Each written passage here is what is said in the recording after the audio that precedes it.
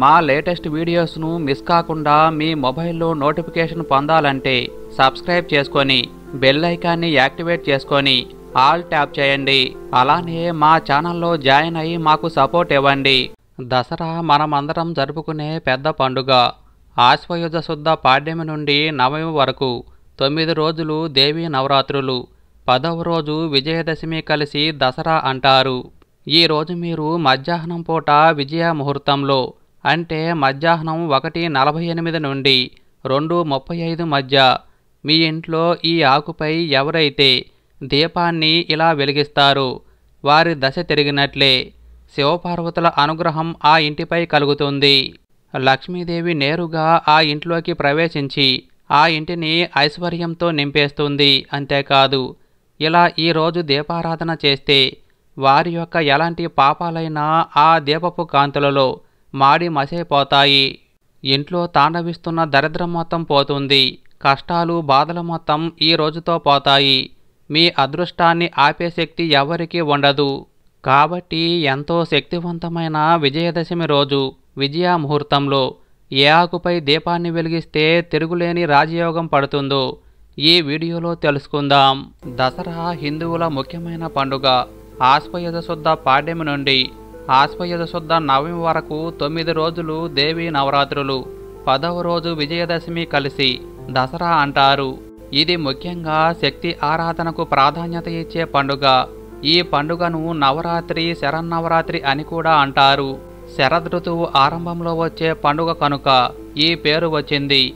కొందరు ఈ పండుగకు మొదటి మూడు రోజులు పార్వతీదేవికి తరువాత మూడు రోజులు లక్ష్మీదేవికి తరువాత మూడు రోజులు సరస్వతీదేవికి పూజలు నిర్వహిస్తారు.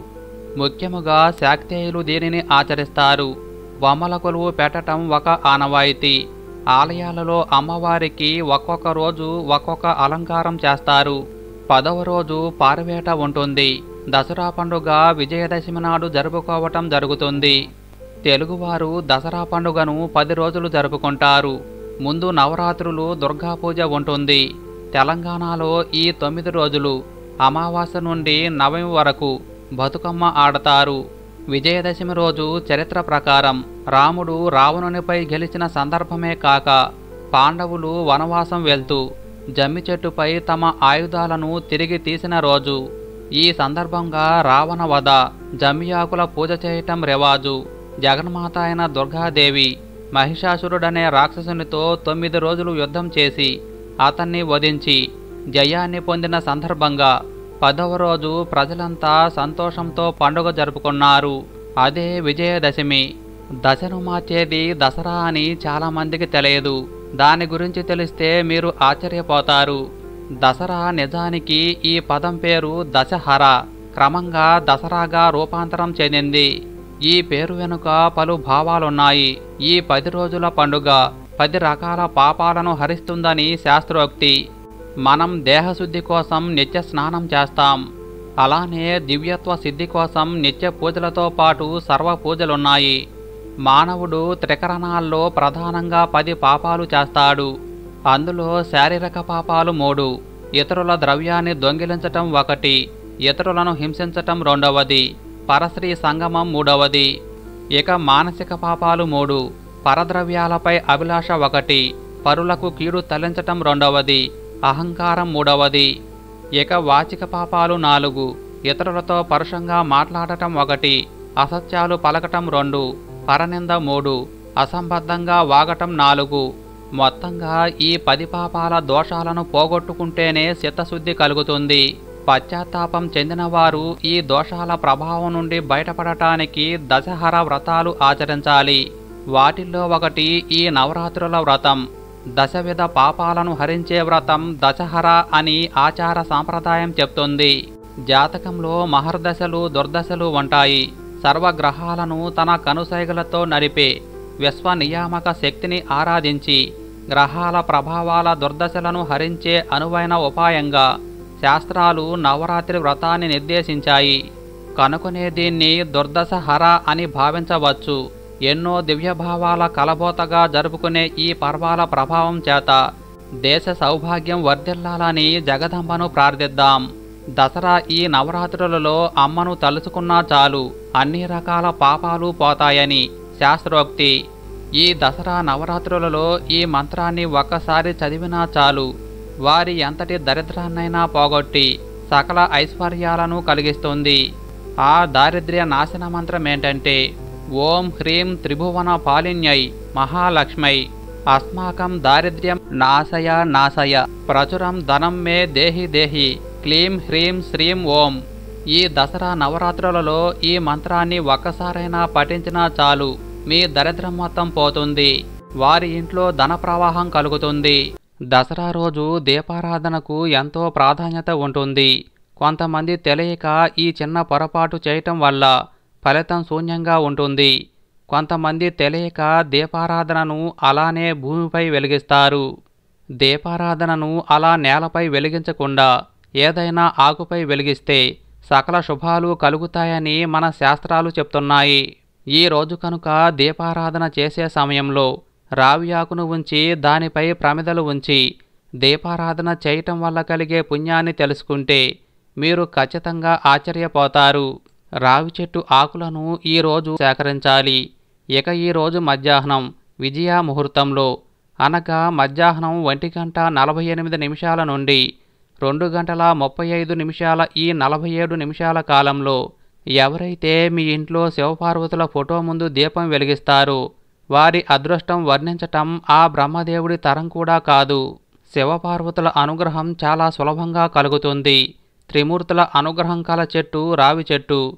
త్రిమూర్తుల అనుగ్రహం కలగాలన్నా ఆర్థిక ఇబ్బందుల నుండి బయటపడాలన్నా ఎంతో శక్తివంతమైన ఈ దసరా రోజు విజయ ముహూర్తంలో రావి చెట్టు ఆకుల మీద ప్రమిదలు ఉంచి ఇంట్లో దీపారాధన చెయ్యాలి. ఇలా చేస్తే ఉత్తమ ఫలితాలు కలుగుతాయి. ఇలా చేసే సమయంలో ఎలా దీపారాధన చెయ్యాలో తెలుసుకుందాం. ఈ విధంగా మీరు రావి చెట్టు ఆకుపై దీపారాధన చేస్తున్న సమయంలో వీడియోలో చూపించిన విధంగా ఆకును పెట్టి దీపారాధన చేయాలి. ఈ రోజు ఇలా చేస్తే రాహుకేతు దోషాలు తొలగిపోతాయి శని బాధలు తొలగిపోతాయి. నవగ్రహాలను సులభంగా ప్రసన్నం చేసుకోవచ్చు. కాబట్టి అఖండ ఐశ్వర్యం ప్రాప్తించి సకల దోషాలు తొలగిపోవాలంటే విజయదశమి రోజు ఇలా రావ్యాకు కింద ఉంచి దానిపై ప్రమిద ఉంచి దీపారాధన చేయాలి. రావి చెట్లు ప్రతి ఊర్లో ఉంటాయి. వృక్షాలన్నింటిలో రావి చెట్టు పరమ పవిత్రమైనదిగా. శ్రీమద్ భాగవతంలో సాక్షాత్తు శ్రీకృష్ణ భగవానుడే చెప్పాడు.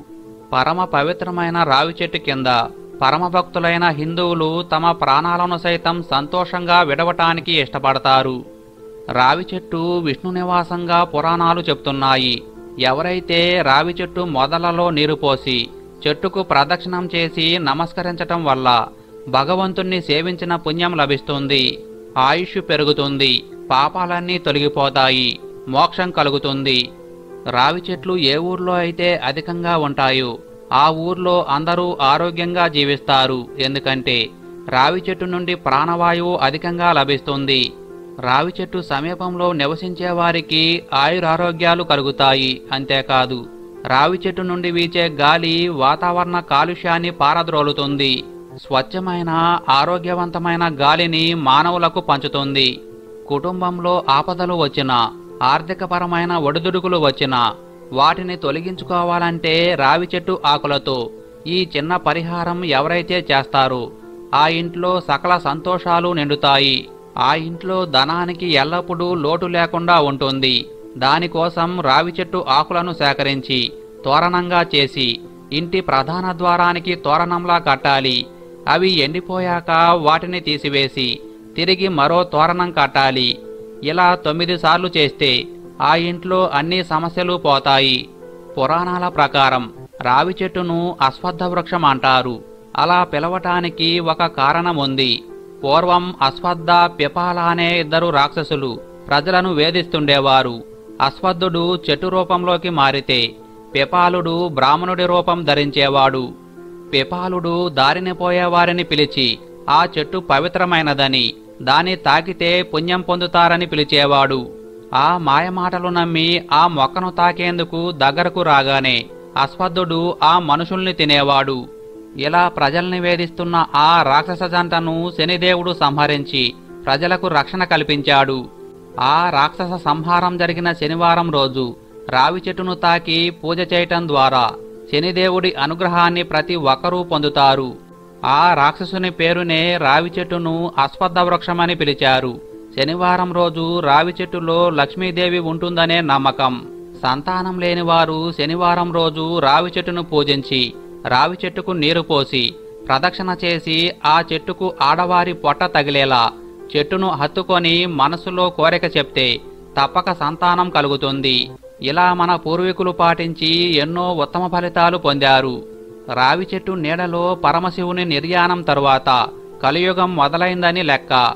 ఆ విధంగా నేడు మనం జీవిస్తున్న ఈ కలియుగానికి ప్రథమ సాక్షి రావి చెట్టే. అందుకే ఆ చెట్టుకు అంత గౌరవం. ఇక రావి చెట్టు మనకు చేసే ఆరోగ్యపరమైన మేలు ఏ చెట్టు చేయదు. ఈ రోజుల్లో ఎంతో మంది ఎదుర్కొంటున్న సమస్య నడుము నొప్పి. నడుము నొప్పిని రావి చెట్టు తగ్గిస్తుంది. దీనికోసం తాజా రావి చెట్టు పైబెరడు సేకరించి మొక్కలు చేసి నీడలో ఆరబెట్టాలి. ఇది ఎండాక పొడి చేసుకోవాలి. ఆ పొడి అర స్పూన్ మోతాదుగా ఒక కప్పు నీటిలో వేసుకొని ఉదయం సాయంత్రం తాగటం వల్ల నడుము నొప్పి తగ్గుతుంది. అంతేకాదు ఇలా తాగితే మగవారికి శక్తి కూడా వస్తుంది. ఇక పాదాల పగుళ్ళు పోయి అందమైన పాదాలు మీ సొంతం అవ్వాలంటే రావి చెట్టు ఆకులను సేకరించి దంచి రసం తీయాలి. ఈ రసాన్ని రాత్రి పనుకునే ముందు కాళ్ళపగులపై అప్లై చేసి పనుకోండి. ఇలా చేస్తుంటే కొన్ని రోజుల్లోనే పాదాల పగుళ్ళు పోయి పాదాలు నాజుగ్గా అవుతాయి. ఇక దంతాలు గట్టిగా మారాలంటే రావి చెట్టు పైబెరడును కషాయంలా కాచి ఆ నీటితో పుక్కులిస్తుంటే దంతాలు చిగుళ్ళు గట్టిగా మారతాయి. ఇక పిల్లలకు పెద్దలకు మెదడుకు బలం కలిగి జ్ఞాపక శక్తి పెరగాలంటే రావి చిగుళ్ళు పది తీసుకొని అర గ్లాస్ ఆవు పాలల్లో వేసి మరిగించి వడపోసుకొని దానికి పటిక బెల్లం చూర్ణం కలుపుకొని రోజూ తాగుతుంటే అపారమైన మేధాశక్తి జ్ఞాపక శక్తి కలుగుతాయి. ఇక నోటిపోత సమస్య చాలామందిని వేధించే సమస్య కాబట్టి నోటిపోత వస్తే రావి చెట్టు పైబెరడు తీసుకొని నీటితో అరగదీసి ఆ గంధాన్ని నోట్లో అప్లై చేసుకుంటే నోటిపోత శాశ్వతంగా పోతుంది. నాలుక పగుళ్ళు కూడా పోతాయి. కాబట్టి రావి చెట్టు వల్ల ఇన్ని ఆరోగ్య ప్రయోజనాలు ఉన్నాయి.